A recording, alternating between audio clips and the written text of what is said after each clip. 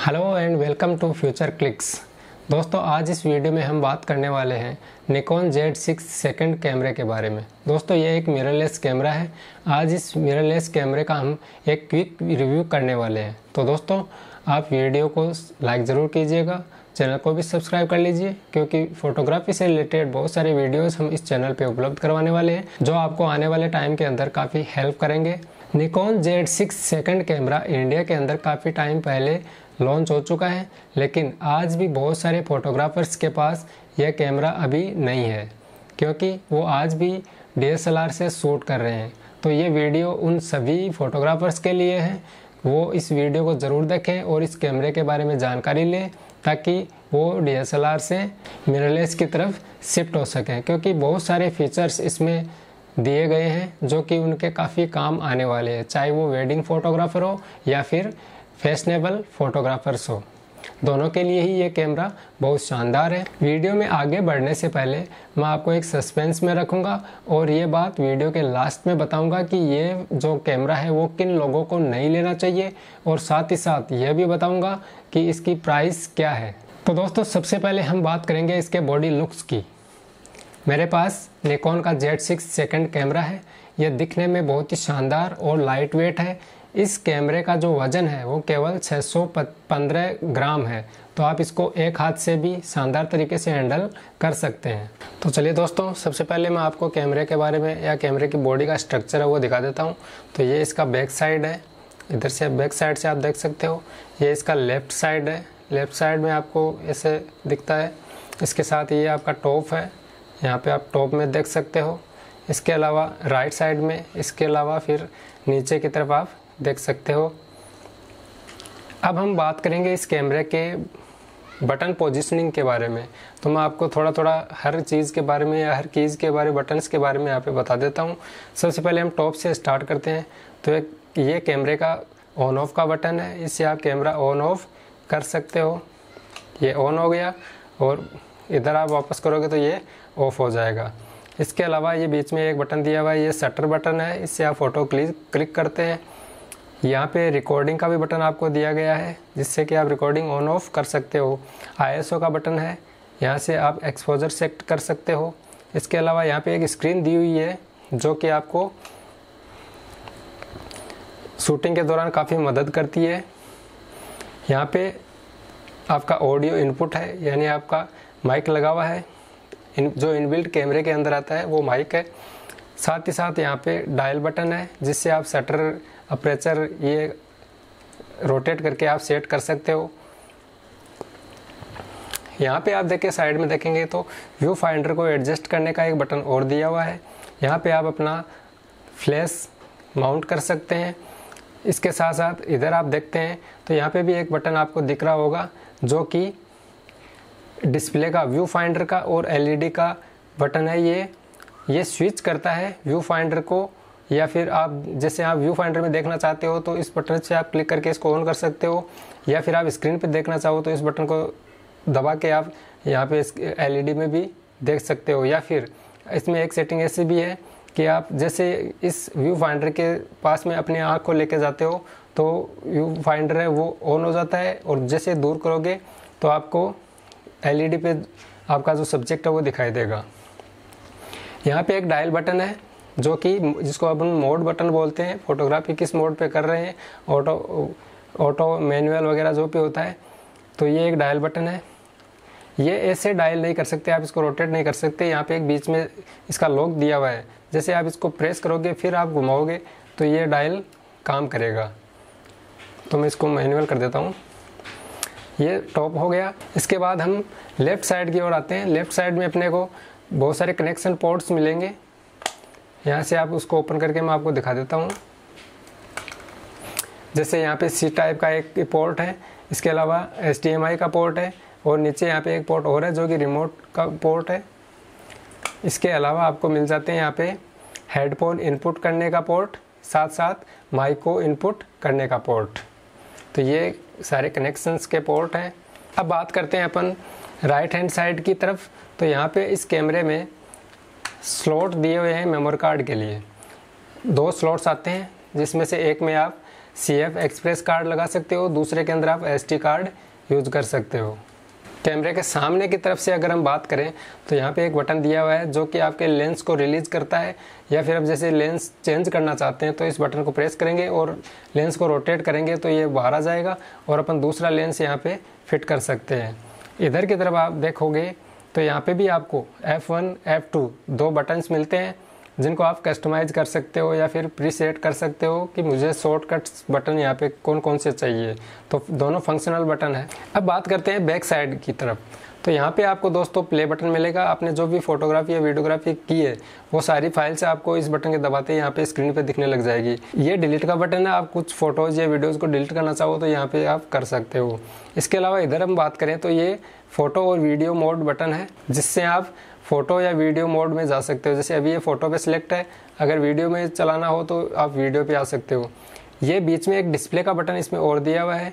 ये display button है। इस बटन से आप स्क्रीन के ऊपर काफ़ी सारी इन्फॉर्मेशन देख सकते हो। इसको जैसे बार बार आप दबाओ, जैसे मैं आपको ऑन करके दिखाता हूँ कैमरा जैसे ये कैमरा ऑन हो गया। अभी जो भी यहाँ पे आप इन्फॉर्मेशन देख रहे हैं, अगर मैं इस बटन को दबाऊँगा तो आपको और और इन्फॉर्मेशन देखने को मिलेगी। जैसे ये आ गया जेबरा इसके बाद में देखो ये लेंस को सेट करने का आ गया है। इसके बाद में फिर से दबाऊँगा तो काफ़ी सारी देखो इन्फॉर्मेशन मेरे पास डिस्प्ले पे आ रही है और ये अभी गायब हो गई है। तो ये सारी चीज़ें इस बटन से होती है। इसके बाद में ऑटो फोकस ऑन ऑफ़ करने का ये बटन है। यहाँ पे एक जॉयस्टिक बटन भी दिया हुआ है, जिससे हम फोकस को लेफ़्ट एंड राइट मूव करवा सकते हैं अप एंड डाउन मूव करवा सकते हैं। तो ये जॉयस्टिक का बटन है। यहाँ पे आई बटन मिलता है। आई मोड आई बटन में आपको काफ़ी सारे फीचर्स मिलते हैं जहाँ से आप लाइट कंट्रोल कर सकते हो अपने कैमरे को। जैसे आपका पिक्चर प्रोफ़ाइल सेट करना है तो आप एस यहाँ से कर सकते हो। यहाँ से आप फ्रेम साइज़ और इमेज क्वालिटी कर सकते हो चेंज यहाँ से आपको इमेज एरिया चूज़ कर सकते हो।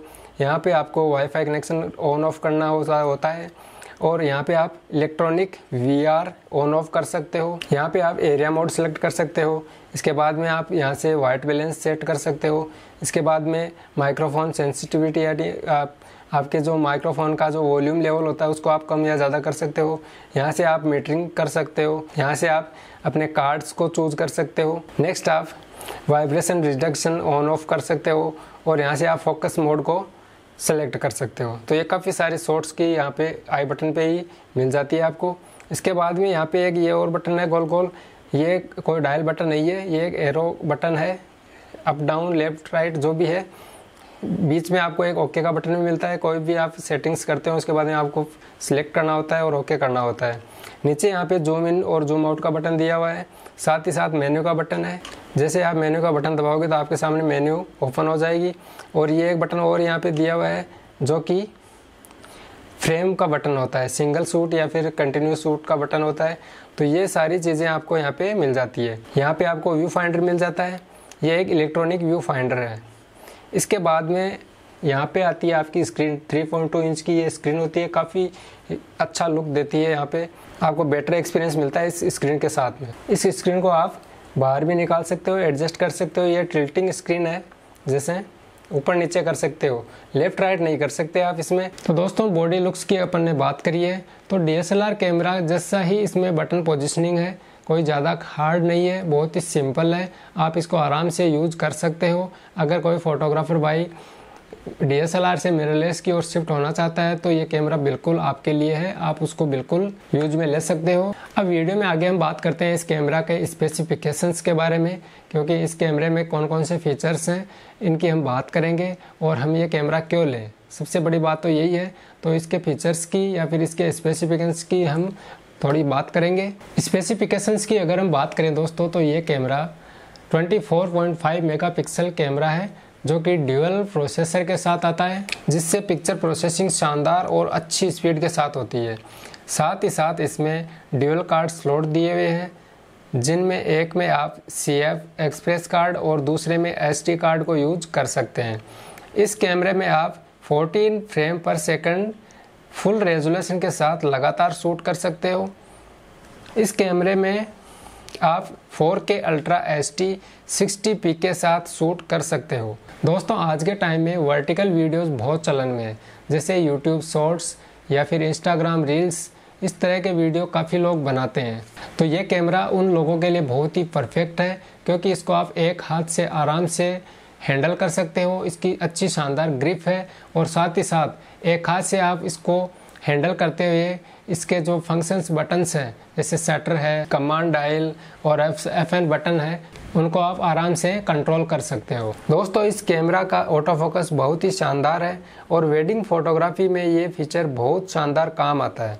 इस कैमरा का आई डिटेक्शन बहुत शानदार है। साथ ही साथ, इस कैमरे में एनिमल आई को भी ऐड कर दिया गया है। लो लाइटिंग में भी इस कैमरे का शानदार रिज़ल्ट है। अपने फोकस को आसानी से यह कैमरा ट्रैक कर लेता है। साथ ही साथ यह कैमरा अपनी स्क्रीन के 90 परसेंट फ्रेम को 273 फोकस पॉइंट के साथ अपने सब्जेक्ट को ऑटोमेटिकली ट्रैक करता है। इस कैमरा में ह्यूमन के साथ साथ डॉग और कैटाई फ्यूचर को भी ऐड कर दिया गया है। इस कैमरे से आप 4K ultra H D at sixty full H D at one twenty P और 4K टाइम लेप्स शूट कर सकते हो। दोस्तों निकॉन जेड सिक्स सेकेंड जो कैमरा है, उसको आप स्नैपब्रिज ऐप के माध्यम से भी अच्छी तरह से ऑपरेट कर सकते हैं। जिन दोस्तों को ये पता नहीं है कि स्नैपब्रिज क्या है तो मैं बता देता हूँ। स्नैपब्रिज एक निकॉन की तरफ़ से डेवलप की गई एक ऐप है, जो कि मोबाइल में इंस्टॉल होती है और इंस्टॉल होने के बाद में आप अपने कैमरे को मोबाइल के थ्रू रिमोटली एक्सेस कर सकते हो। साथ ही साथ आप उससे डेटा भी ट्रांसफ़र कर सकते हो मतलब फ़ोटो और वीडियोज़ को भी आप अपने मोबाइल में शिफ्ट कर सकते हो या फिर ट्रांसफ़र कर सकते हो। इसके अलावा स्नैपब्रिज से आप अपने निकोन जेड सिक्स सेकेंड कैमरे को या फिर कैमरे का जो सॉफ्टवेयर है या फर्मवेयर होता है, उसको भी आप उस ऐप के माध्यम से अपडेट कर सकते हो। दोस्तों, इस कैमरे से आप लाइव स्ट्रीमिंग भी कर सकते हो, वो भी अच्छी क्वालिटी के साथ में। साथ ही साथ एक प्लस पॉइंट ये भी है कि जब भी आप लाइव स्ट्रीमिंग करते हैं तो आपका जो सी टाइप का जो केबल आपके कैमरे से कनेक्टेड है, उससे तो आपका बैटरी भी साथ में चार्ज होता रहेगा। अब दोस्तों, यहाँ पे एक मैं शानदार स्पेशलिटी इस कैमरे की बताता हूँ कि अगर आपने आज तक डीएसएलआर कैमरा को यूज़ किया है और आपके पास बहुत सारे पुराने लेंसेज पड़े हैं, जो कि आप काम में लेते थे अपने पुराने डीएसएलआर कैमरे के साथ में। अगर आपने अब मिररलेस कैमरा ले लिया या फिर यही जो निकॉन जेड सिक्स सेकेंड का जो कैमरा है वो ले लिया है तो आपको क्या लेंस भी चेंज करने होंगे या भी वो भी नए परचेज करने होंगे? तो बिल्कुल आपको यहाँ पे घबराने की ज़रूरत नहीं है। यहाँ पे एक एक्सटर्नल अडेप्टर लगता है, जिसको आप F T H Z connector बोलते हैं। वो कनेक्टर लगा के आप वहीं पुराने लेंसेज इस कैमरे के साथ में यूज़ में ले सकते हो। फ़ोटोज़ और वीडियोज़ की अगर क्वालिटी की अगर हम बात करें तो मैंने कुछ फ़ोटोज़ और वीडियो इस कैमरे से शूट किए जो कि मैं वीडियो के लास्ट में लगा दूँगा। आप बिल्कुल उनको देखना कि आपको ये वीडियो क्लिप्स या फिर फ़ोटोज़ कैसी लगती है। तो दोस्तों, अब बारी आती है वीडियो को कंक्लूड करने की। यह कैमरा किन को ख़रीदना चाहिए? तो यहाँ पे मैं बता देता हूँ कि जो वेडिंग फोटोग्राफ़र है या फिर जो फैशनेबल फोटोग्राफर्स हैं यह कैमरा बिल्कुल उन्हीं के लिए है। आप इस कैमरे को ज़रूर एक्सपीरियंस कीजिए। साथ ही साथ मैंने वीडियो के शुरू में जो सस्पेंस रखा था कि ये कैमरा किन लोगों को नहीं लेना चाहिए तो मैं यहाँ पे आपको बता देना चाहता हूँ कि ये कैमरा जो ब्लॉगिंग करते हैं, उनको बिल्कुल नहीं लेना चाहिए और इसका जो मेन रीज़न है, वो है इसका स्क्रीन आप इसकी स्क्रीन को मूव नहीं कर सकते हैं। इसको बाहर निकाल सकते हैं टिल्ट कर सकते हैं। लेकिन ब्लॉगिंग करने में क्या होता है, आपका जो स्क्रीन है, वो कैमरे की लेंस की तरफ़ होना चाहिए। तो यहाँ पे ये बहुत ही बड़ी इसकी माइनस पॉइंट है। जो लोग ब्लॉगिंग करते हैं, वो इस कैमरे को बिल्कुल ना खरीदें। साथ ही साथ अगर इसके कैमरे की हम प्राइस की बात करें तो इसका जो बॉडी का प्राइस है वो लगभग एक लाख साठ हज़ार रुपये के अराउंड है। और प्राइम लेंस के साथ में अगर आप इस कैमरे को लेते हैं तो ये दो लाख दस हज़ार तक इसकी प्राइस जा सकती है। तो दोस्तों, वीडियो में दी गई जानकारी आपको कैसी लगी, कमेंट ज़रूर कीजिएगा। और हाँ वीडियोज़ में प्ले कर रहा हूँ, लेकिन आप चैनल को सब्सक्राइब करके ज़रूर जाइएगा। धन्यवाद।